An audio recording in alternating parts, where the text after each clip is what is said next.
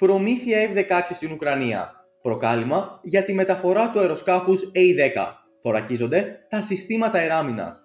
Για μεγάλο χρονικό διάστημα λοιπόν βρίσκεται στην επικαιρότητα ότι η Ουκρανία ετοιμάζεται να παραλάβει 12 έως 18 αμερικανικά μαχητικά αεροσκάφη F-16.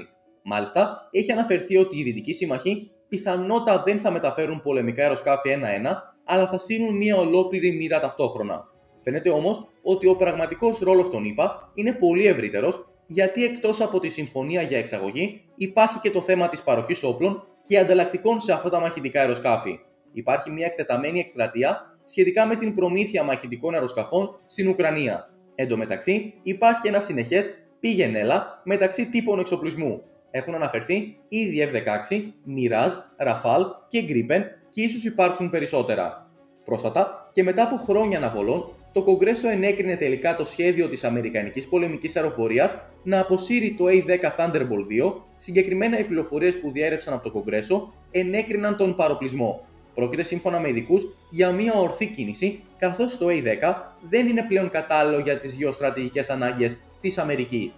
Αυτό που τραβάει την προσοχή είναι ότι τα A-10C σε ποσότητα 40 τεμαχίων θα μεταφερθούν σε αεροπορική βάση στη Γερμανία για αποθήκευση. Όμως, πριν από 6 μήνες, το ίδιο Κογκρέσο παρέτεινε τη λειτουργία του επιθετικού αεροσκάφους A10C μέχρι το 2025. Λοιπόν, τι συμβαίνει, γεγονός είναι ότι μετά την παράταση της διάρκειας ζωής, αυτά τα 40 μαχητικά αεροσκάφη που οι Ηνωμένες Πολιτείες αφαίρεσαν από την υπηρεσία υποβλήθηκαν στη συντήρηση για την επέκταση του χρόνου ζωής τους. Πόσο συχνά ένα κράτος όπως οι Ηνωμένες Πολιτείες πριν αποσύρει αεροσκάφη από την υπηρεσία εκτελεί τη συντήρηση ανανέωσής τους, Τώρα, ας δούμε τις διαδικασίες που έχουν συμβεί πρόσφατα στην Ουκρανία. Αναπτύχθηκε σύστημα εράμινας Patriot και HOP και έχουν αναπτυχθεί συστήματα εράμινας δυτικού μεσαίου ύψους. Φαίνεται ότι η Ουκρανία λοιπόν προσπαθεί να οικοδομήσει μια πολυεπίπεδη εράμινα, αν κρίνουμε από τις θέσεις, να απομονώσει το θέατρο των στρατιωτικών επιχειρήσεων από τον αέρα. Αν αυτό είναι έτσι, τότε είναι πολύ πιθανό ότι υπό την κάλυψη των συστημάτων αεράμινα, το αεροσκάφος A10C είναι πολύ ευπρόσδεκτο σε αυτό το κόνσεπτ, οι αντεπιθέσεις είναι πιο ωφέλιμες από τα F-16, τα οποία δεν ταιριάζουν απολύτως σε αυτή την ιδέα.